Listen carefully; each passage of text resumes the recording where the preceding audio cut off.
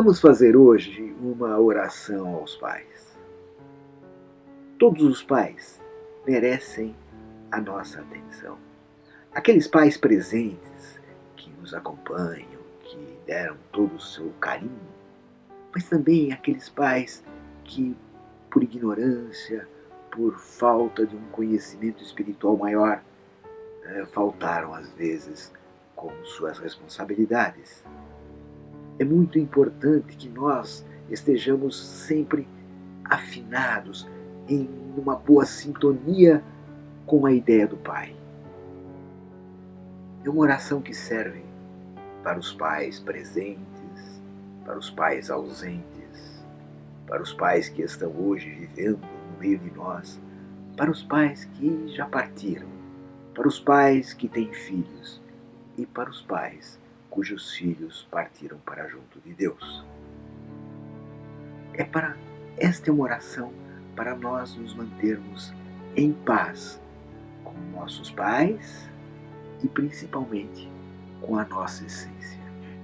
E então, vamos fazer esta oração pelos pais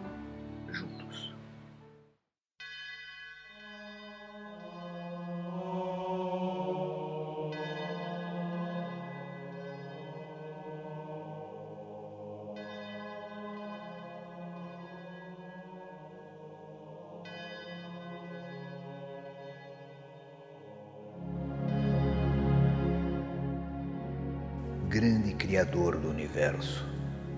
Venho hoje a Ti, pedindo que estenda tuas mãos divinas sobre todos os pais, abençoando-os.